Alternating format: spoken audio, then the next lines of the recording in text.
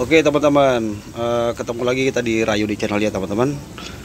Oke, kita mau kasih tips sedikit nih buat teman-teman. Nah, jadi kalau teman-teman mobilnya itu ada masalah dengan karburator ya. Jadi disemprot udah nggak bisa, mampetnya parah banget. Atau teman-teman baru dapat karburator tapi bekarat gitu ya, terus nggak bisa disemprot karena mampet. Ya, ini untuk Kijang uh, 7K ya teman-teman, 1800 cc grade extra Nah jadi caranya kita gini teman-teman. Kita bongkar semua karburatornya ya. Kita copot-copotin semua dalam-dalamnya. Terus kita rebus kayak gini nih. Nih ya. Lihat ya.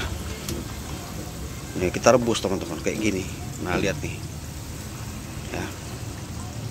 Nih kita rebus. Biar agak lamaan ya. Lihat nih. Tapi hati-hati teman-teman kerjain ya. Hati-hati air panas kan Nih. Lihat nih ya ini nah ini lubang-lubangnya udah saya semprot-semprotin ya sebelum direbus. Itu nggak bisa tembus ya teman-teman. Karena apa? Dia udah mampetnya parah banget. Ya, udah parah banget mampetnya nih. Nah jadi kita caranya adalah kita rebus. Ya perhatikan di sini ada lubang-lubang banyak banget ini lubang-lubang nih. Ini buat pompa yang ini.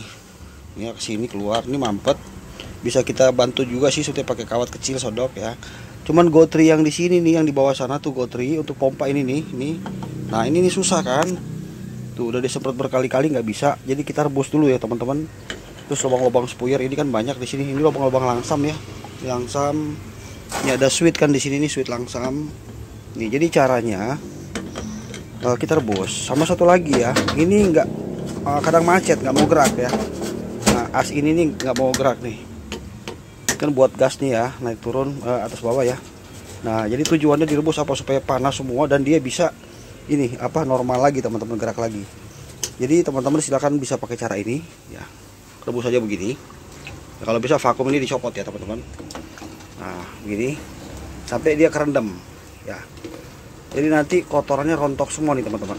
Nggak usah takut melengkung ya nggak akan nggak bakalat ya. Ya nanti yang ini sekalian kita rendam juga ya jadi sampai nanti habis itu baru kita bersihin pakai sikat kawat baru kita uh, ini ya teman-teman kita semprotin lagi pakai karburator cleaner lalu pakai kompresor angin. Nah, jadi ini tips dari saya buat teman-teman semuanya. Uh, mudah-mudahan teman-teman nanti kalau mengalami suatu hari nanti ya pakai cara seperti ini aja teman-teman. Ya kita rebus.